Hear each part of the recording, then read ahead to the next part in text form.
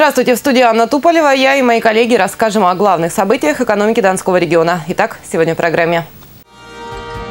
Российским предприятиям отечественное оборудование. В Азове создан современный станкостроительный кластер. Почти полтора миллиарда рублей составил профицит областного бюджета. Глава региона утвердил отчет о его исполнении за 9 месяцев текущего года. Большой инновационный потенциал малых российских городов. Итоги визита на Дон специалистов российской венчурной компании.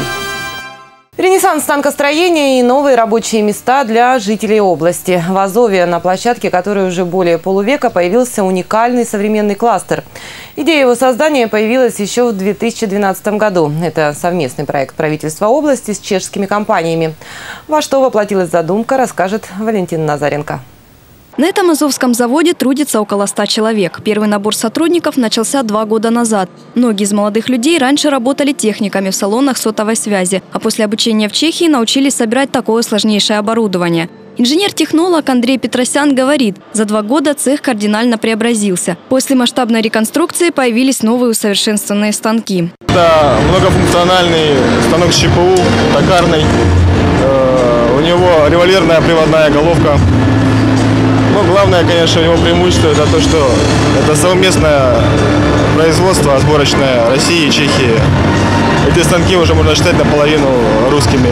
Пакет соглашения о создании регионального кластера машиностроительных технологий в Донском регионе был подписан в марте 2013 года. С момента подписания его резидентами стали крупнейшие российские и чешские заводы. Чуть позже, в сентябре, на экономическом форуме в Сочи региональное правительство и Внешэкономбанк заключили соглашение о поддержке этого масштабного проекта.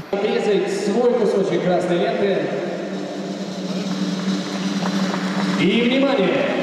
Открытие нового станкостроительного предприятия, его площадь несколько тысяч квадратных метров – значимое событие в стране за последние десятилетия. Кластер будет обеспечивать оборудованием основные отрасли промышленности – автомобильную, авиационную, энергетическую, судостроительную, инструментальную и другие. Мы планировали э, постепенно набирать темп, а состояние сейчас предпринимательства и э, машиностроение в Российской Федерации заставляет нас быть более, более быстрыми. На производстве станков полного цикла будет работать около 300 сотрудников. Только на современном сборочном производстве смогут трудиться 60 человек при средней заработной плате 40 тысяч рублей. Совершенно очевидно, что это иное качество э, рабочих мест, иное качество индустрии в принципе. Вы можете э, потратить там 5-7 минут, выйти за территорию корпуса, оглянуться вокруг и увидеть, э, что, что я имею в виду. На предприятии рассчитывают, что выпускаемое высокотехнологическое оборудование будет востребовано на внешнем и внутреннем рынке машиностроительного комплекса. Это позволит укрепить экспортные позиции Донского региона. Это действительно для всех, со всех сторон очень актуально.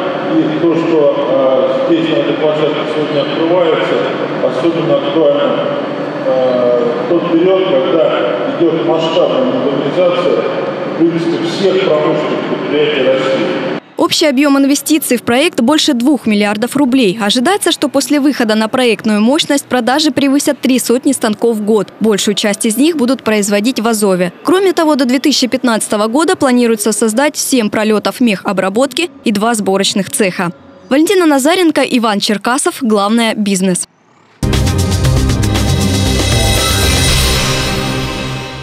Доходы превысили расходы. Профицит Донской казны превысил 1 миллиард рублей. Об этом сообщает пресс-служба регионального Минфина.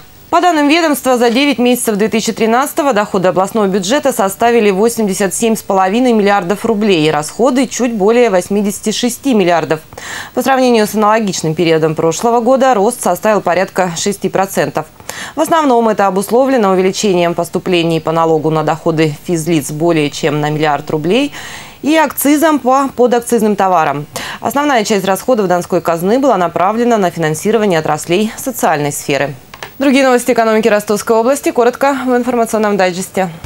Рост цен на куриные яйца в Ростовской области признан обоснованным. Антимонопольная служба огласила результаты проверки после резкого скачка стоимости продукции. Как показал анализ, птицефабрики подняли отпускные цены на яйца в связи с увеличением тарифов на электричество и стоимости кормов. Напомним, средняя розничная цена на яйца в магазинах Ростовской области в течение октября и ноября поднялась выше 50 рублей за десяток. При этом торговые сети свою наценку не меняли. В Ростове появится итальянский визовый центр. Как сообщает и Тартас, Россия и Италия пришли к соглашению об упрощении визового режима и проведении перекрестного года туризма. В связи с этим в ближайшие месяцы запланировано открытие дополнительных визовых центров в Донской столице, Волгограде, Воронеже, Ульяновске, Иркутске, Томске и Владивостоке. Кроме того, со следующего года туристам упростят процедуру получения разрешения на въезд в Италию. Для детей до 12 лет, журналистов и участников отдельных культурных акций визы станут станут бесплатными. Арбитражный суд запретил ростовскому аэропорту увеличивать уставной капитал. Как сообщает Интерфакс, решение было принято по заявлению акционеров физлиц. Заявители считают необходимым предотвратить действия, результатом которых станет невозможность исполнения судебного решения в части выплаты дивидендов. 6 ноября ростовский арбитраж признал недействительным решение годового собрания от 28 июня и обязал ростовский аэропорт выплатить дивиденды в размере 10% от чистой прибыли общества за 2012 год. Целью увеличения уставного капитала, по мнению заявителей, является преднамеренное введение общества в убытки по результатам финансового 2013 года и преднамеренное введение его в состояние банкротства.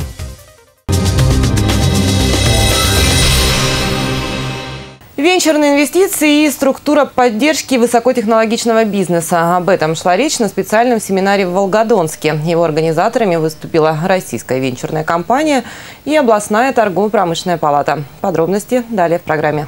Цикл семинаров по проблемам развития инновационной деятельности в муниципалитетах региона организован в рамках трехстороннего соглашения между торгово-промышленными палатами региона и России и Донским правительством. Главная цель этих круглых столов – практические рекомендации по развитию высокотехнологического предпринимательства.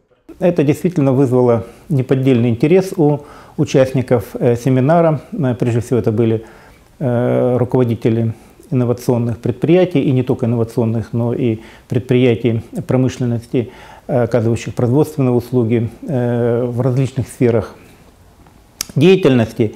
И разговор получился откровенный, живой и э, с выходом на определенные предложения. Речь идет о создании максимально удобного формата взаимодействия малых инновационных фирм и крупных компаний. Пока им трудно найти друг друга, а ведь научно-технические инновационные разработки помогут оптимизировать затраты практически любой компании.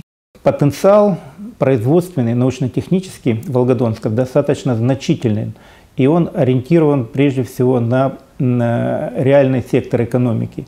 И это фактор, который является конкурентным преимуществом для Волгодонска. Его только нужно правильно использовать и прежде всего с привлечением внешних ресурсов э, как регионального, так и федерального уровня.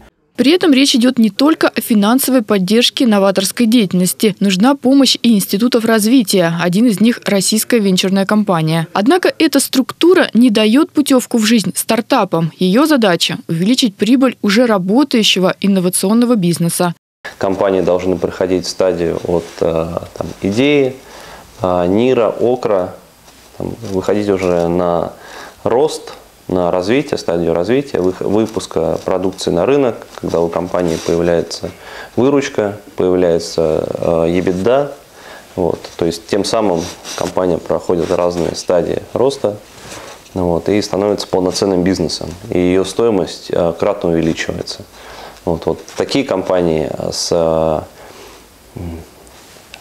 фундаментальными э, конкурентными преимуществами, технологические компании, они интересны для инвесторов. Хороших проектов мало, уникальной идеи вообще штучный товар. И потому сейчас российская венчурная компания уделяет особое внимание региональной инфраструктуре. Ростовской области тоже нужна новая площадка. Над ее созданием сейчас и работают специалисты ТПП, РВК, РСПП и правительство региона. Мария Индрикова, Сергей Зайцев. Главное – бизнес.